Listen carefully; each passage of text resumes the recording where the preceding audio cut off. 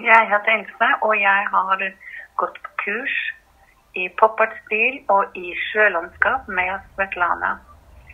Dette var seks intensive, tøffe dager, men jeg har lært veldig mye. Og her var det pedagogisk opplæring og konstruksjoner. Det var farge, balanse, perspektiver, og vi trente om igjen og om igjen og om igjen. Um, men det har gitt meg en veldig glede å male i olje, noe jeg kanskje var litt skeptisk til. Men uh, alt i alt så er jeg veldig, veldig glad for å ha tatt kurset hos Svetlana. Hun er proff. Og det har gitt meg veldig mye.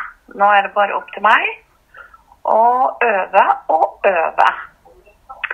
Og jeg vil anbefale Svetlana på det ja, varmeste.